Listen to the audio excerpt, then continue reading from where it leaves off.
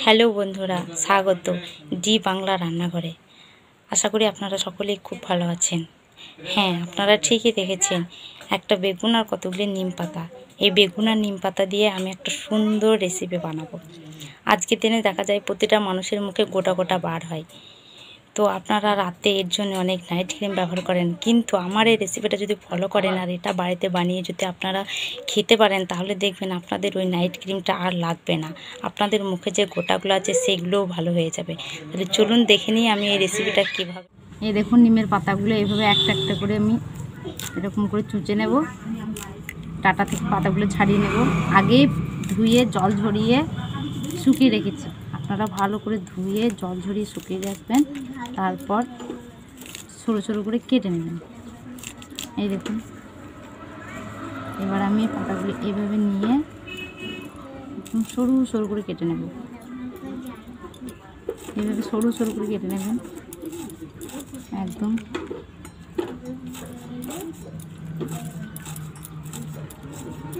এরকম সরু সরু সরু সরু কেটে নেবেন। সব পাতাগুলো। আমি আপনাদের দেখিয়ে দিলাম পাতাগুলো কীভাবে কাটতে হবে, সেগুলো কেটে নেবেন। পাতাগুলো আমার সব কাটা হয়ে গেছে। দেখে নিয়েছেন আমি পাতাগুলো কীভাবে কেটে নিয়েছি। দেখুন আমার কি কি লাগছে লাগছে বেগুন কুচি নিম পাতা কুচিয়ে নিয়েছি, সরু সরু করে। লাগছে এক চামচ হলুদ গুঁড়ো যে নারকেল কুড়িয়ে নিয়েছি, লবণ, আদা, রসুন বাটা, গোটা লঙ্কা, গোটা জিরে আর সরিষার তেল। কড়াইটা গরম হয়ে গেছে। আমি সরিষার তেল দেব। প্রথমে সরিষার তেল দেব।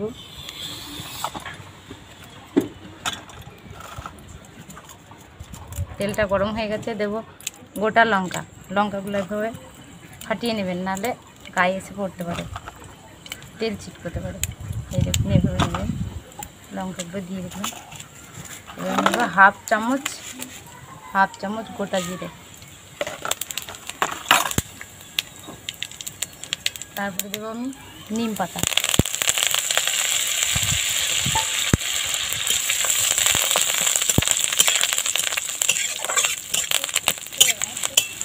নিম পাতা। নিম পাতাটা ভাজা হয়ে গেছে। আপনারা দেখতেই পাচ্ছেন, নিম পাতাটা ভাজা হয়ে গেছে।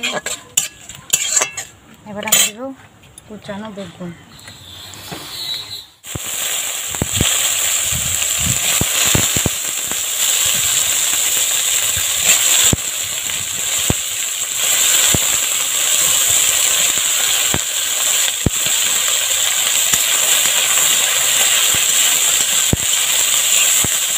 এভাবে পাতাটা একসঙ্গে সুন্দর করে ভেজে নেবেন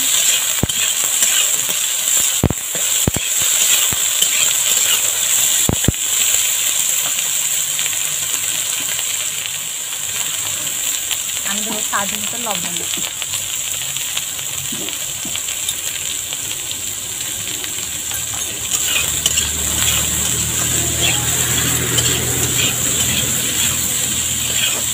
আমার এই রেসিপিটা যদি আপনাদের ভালো লেগে থাকে, তাহলে অবশ্যই একটা লাইক করবেন এবং কমেন্টে জানাবেন আপনাদের কেমন লেগেছে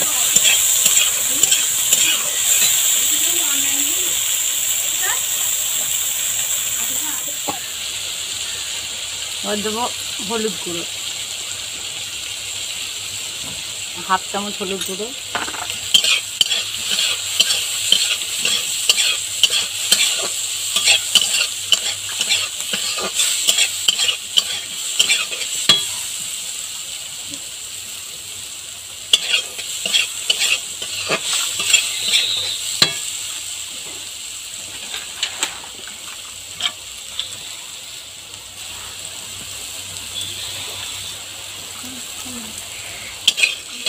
Terus baru. Aku এবার দেবো এক চামচ আদা আর রসুন বাটা। আদা, রসুন বাটাটা ভালো করে মিশিয়ে নেব।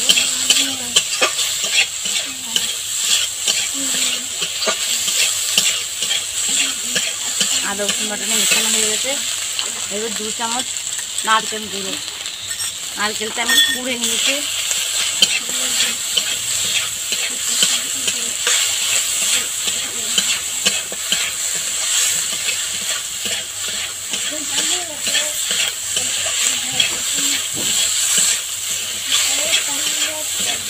এই রেসিপিটা বানাতে একটু জল লাগবে না। দেখতে পাচ্ছেন বেগুনটা কি সুন্দর সেদ্ধ হয়ে গেছে।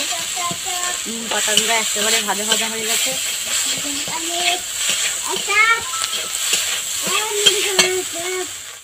এই দেখুন বন্ধুরা, কীভাবে তেলগুলো ছেড়ে ছেড়ে এসেছে। এই রেসিপিটা আমার হয়ে গেছে। এবার আমি তুলে নেব। দেখতে পাচ্ছেন কত সুন্দর হয়েছে। এক বিন্দু জল ব্যবহার করিনি এটাতে আমি শুধু তেল, মশলা। যদি এই রান্নাটা আপনাদের ভালো লেগে থাকে, তাহলে অবশ্যই একটা লাইক করবেন। আমার চ্যানেলটা অবশ্যই সাবস্ক্রাইব করবেন। এবং আপনারা বাড়িতে এই রান্নাটা করে দেখবেন। আমাকে কমেন্টে জানাবেন কেমন হয়েছে।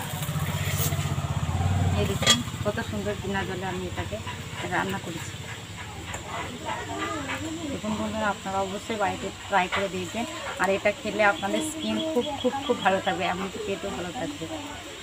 থ্যাংক ইউ বন্ধুরা।